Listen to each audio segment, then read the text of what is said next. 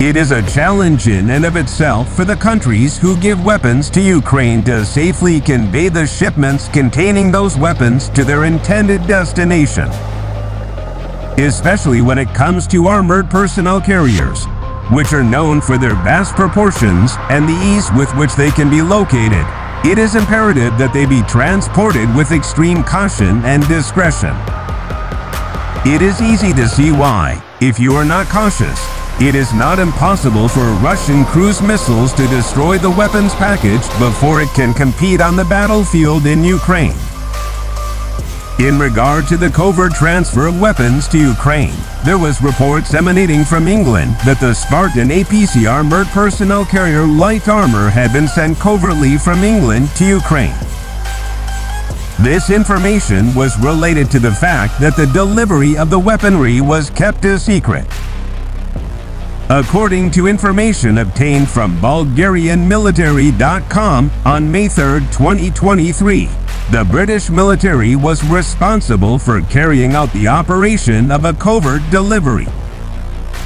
More specifically, civilian container trucks were utilized to bring Spartan APCs to Ukraine.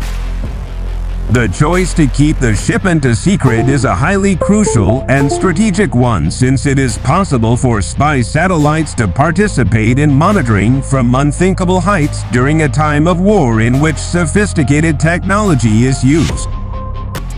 Regular surveillance of the territories surrounding Ukraine's highways and road infrastructure is carried out by Russian reconnaissance satellites.